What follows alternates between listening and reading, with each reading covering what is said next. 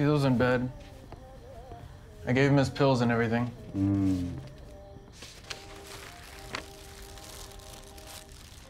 Maybe, um, you can make him breakfast in the morning?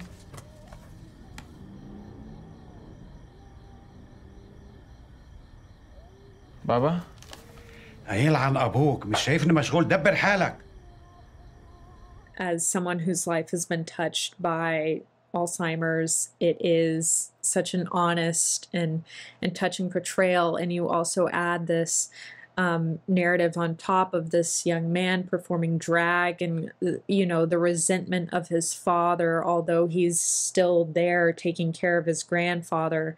Um, there's still this tension and that it's heartbreaking and it's something so common for so many people out there um, so many um, lgbtq youth um, that are still a part of their family and cohesive and there's still that tension. It was just it was a really touching beautiful story. Um, i think it was incredibly well played out.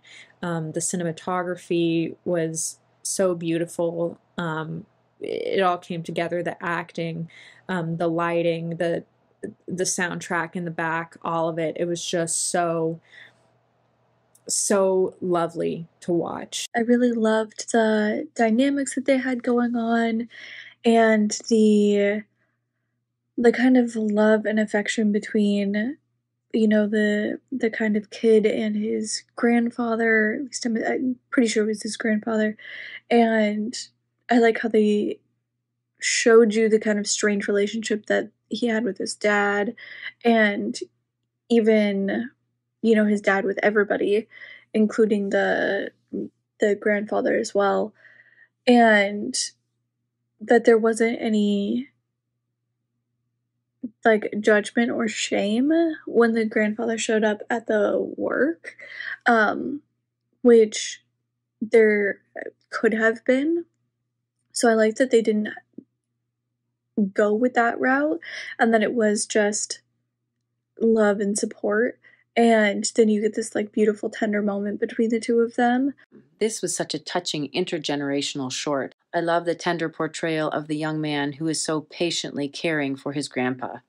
The cinematography is vivid and creative, and I really appreciate the poetic soundtrack in the film. Though a complete narrative, I would love to see more of this story in a full length feature. I really enjoyed the performance by the whole cast. Um, they were really sincere in their performance. Um, I really enjoyed the the linear narrative. Um, I thought the pacing of the story was really well, uh, was really good, um, and I really enjoyed uh, just the way that it was set up and paid off at the end.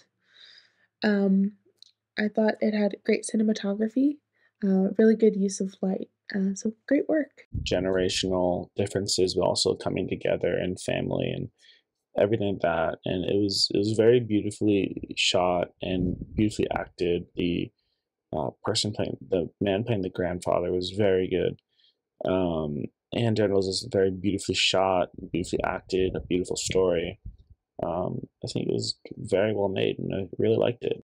they touch on topics that are so intense and intimate and they do it roughly and with just honesty uh, it, it was great the script is amazing the casting as well and the circumstances they touch on are also quite similar in the cultural sense of things and how things are approached by different cultures and in this case maybe patriarchal figures from fathers. And it is uh, an interesting depiction of situations that it touches on.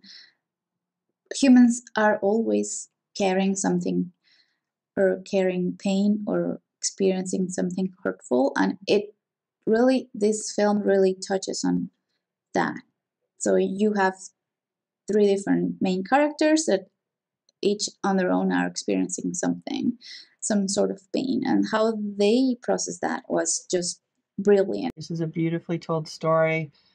Um, it's really also a story about three men and their relationship as son, father, grandfather. So nicely done. I love the cinematography, all the different colors. It sort of had a retro feel for some reason to me. Um, everything was great about it. The music, the song, when the son was performing as a drag queen. Um, I just, it was great because I, I also felt like the writing was really good because to me it wasn't a lot of exposition. It really just kind of let the story tell itself and didn't underestimate the audience's intelligence uh, at all. I felt like it was so, such a sweet story. Um, and acceptance that, that the grandfather has, even if it's because he's thinking of his wife. Um, just all of it was really well done to me and re- presented really well. And I actually want to see more. I wanted to see this more of a feature. So, um, really well done in tackling um, these subject matters. Um, and the fact that the father, the father of the younger son, wasn't really present, and the son was taking care of the grandfather, and the grandfather was developing this relationship with his grandson, and and it, the whole thing was just heartwarming. It's about acceptance. It's about you know maybe the the the father wasn't really accepting the grandfather, his dementia or Alzheimer's, and it was more the grandfather and the, the grandson accepting each other.